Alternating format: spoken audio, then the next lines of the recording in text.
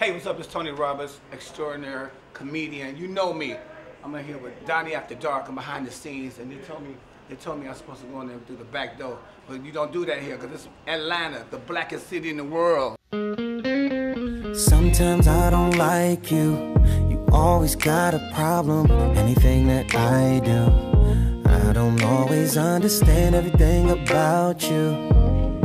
But I know I. Donnie After Dark, turn up. It's about to go. We're gonna have a good time.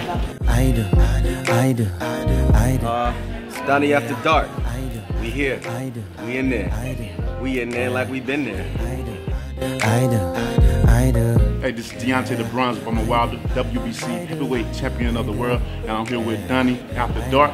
It's the final Sensitive. countdown.